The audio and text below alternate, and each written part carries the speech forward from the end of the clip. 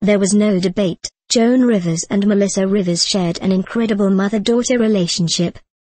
That friendship and bond was especially visible Sunday morning when Melissa delivered a hilarious, yet moving, eulogy at her mother's funeral. The speech, an excerpt from a letter to my mom and first published in The Hollywood Reporter, explains how Joan recently shacked up at Melissa's Los Angeles home in order to tape Fashion Police.